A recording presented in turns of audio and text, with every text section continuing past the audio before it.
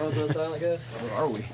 Good question. Bowels of Husky. I've never been in this part of Husky Stadium, believe it or not. Glamorous post renovation room. Yeah, um, that was a that was a good win for us. That was probably as complete a game as we've played from start to finish this year, and that's what you want to be doing in November. Is you want to be hitting your stride, you want to be playing your best football, and uh, I think from halftime of the Arizona game on, I feel like we've played our best football, and so that's got to be the focus. Is just continuing to build consistency, continuing to get better every single day in our preparation, and uh, try to keep winning. So, um, you know, congratulations to Brett on breaking the, the record.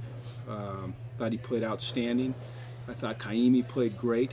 Um, he's been kicking the ball well in practice, and, and it was really neat. Uh, was kind of contemplating what to do there at the end, and uh, his teammates talked. They didn't talk me into it. His teammates just said, "Coach, he will make it. Send him out there and let him kick it. He will make it." And it was just resounding. And, and I, you know, I think that kind of goes to show how they feel about Kaimi, you know, even though he struggled sometimes. So I, I appreciate that about the, the players. And uh, it was great to have Troy Aikman here tonight, you know, watching us. He's doing the Seattle game tomorrow, and, and he came out. And, uh, you know, I know Brett was aware that he was there. And, of course, he's one of the all-time greats, not just at UCLA, but in football in general. So to have him here was, was really pretty special for us. So it's a good win. What was it about Brett's performance that was so outstanding tonight? I thought he played with great certainty. You know, I thought that he looked extremely poised in the pocket. I thought he stepped up and threw the ball well with accuracy. Uh, I thought the protection was outstanding. I, I don't really care about the sack totals because some of those are Brett, you know, trying to step up and make something happen. He doesn't get back to the line of scrimmage. But I think there was only one sack to me that looked like, you know, a protection issue. Um, I thought he handed it off when he was supposed to hand it off. He ran it, was supposed to run it. He ran hard. He protected the ball, and uh, he just, you know, he practiced that way all week, and he performed that way tonight. You guys are able to attack the middle of the field pretty effectively. How much of that was getting Thomas back? Well, it, it, I think it has more to do just with the coverage. You know, um, every play has a progression. The progression is predicated on the coverage that you see, and so I think it was more just a function of the coverages we were getting rather than Thomas. But Thomas made that spectacular catch on the sidelines when you know that guy went up and almost intercepted it, fell through, and that kept the drive alive. That was a great play. Getting two weeks to prepare for USC, how's that going to help you? Uh, you know, I, I'm, my mind's not there yet. I mean, I'm just excited about winning today, and winning this evening. and I'm excited about our players and the way they play and the way they feel about themselves and the way they've started to really show some maturity for a young team. And it's just it's fun to be around them. Jim, did you change tactics a little with the Marcus Peters being out of this game? Was there no, a little bit? no, we don't we don't really pay much attention to that kind of thing. You know, um, it's kind of like you know we're saying it's a you, you call plays, you know, and plays have progressions, whether they're runs or passes. But we really didn't we didn't change anything. I mean, he was a good player, but uh, it didn't matter to us. I know you downplayed your return here, but uh, can you just talk about what it was like to walk out on, into the stadium, a place that had so many memories for you, and put this kind of performance? on I was excited about the way the UCLA Bruins played. Other than that, it was just a it was a game. I mean, I, you know, I'm happy my mom was here and my brothers. Other than that, I really I couldn't care less. I'm happy we're eight and two. I'm excited for our players. Other than that, I don't, it doesn't matter to me. Since you've been here, how good of a offensive performance was this that you've seen? Well, I thought it was really good. I mean, we ran the ball effect. We, we we were able to make the plays when we needed to make the plays. You know, I mean, we were we were consistent. So I don't know what to compare it to. I just felt good about it, and I felt great about the defense too. I thought they played very well. We we, you know, Shaq Thompson's a heck of a runner. Although I'll say this, I don't know how you match that run that Myles had. I mean, that was that was spectacular. Uh, but uh, you know, they ran the ball better than we would like them to run it. Um, but he's a great player, and so we'll get that fixed.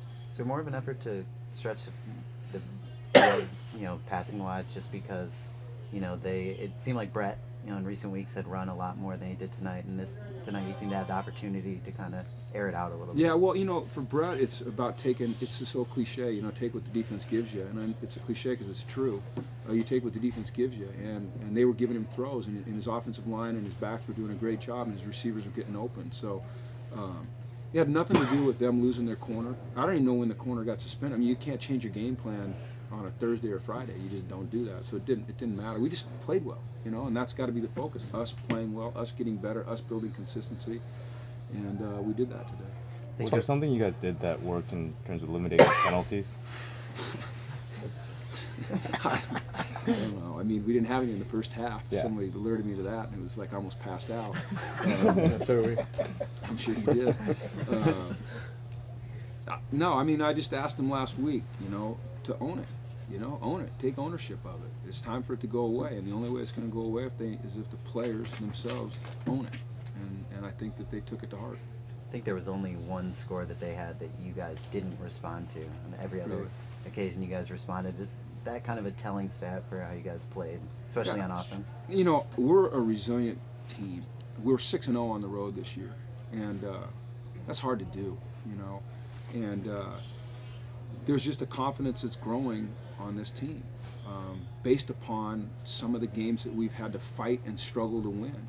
I believe that you build confidence when you go through those tough times. You know, I think you can build some false confidence when you just blow everybody out, but real confidence, real grit, real trust, that comes when it's not easy, when it's tough, and you still get it done. And so that's what this team has.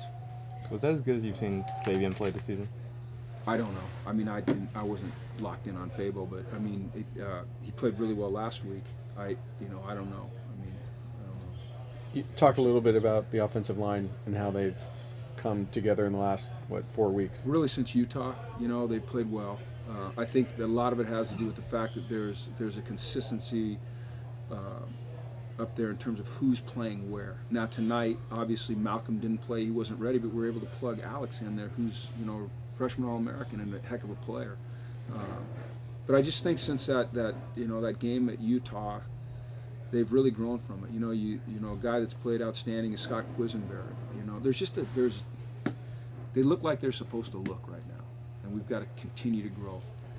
Could you tell with Myles he was pretty amped up before this one? Myles did a tremendous job of keeping his cool.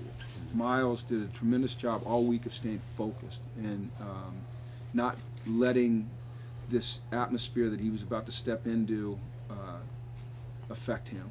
And I was really proud of the way he played tonight.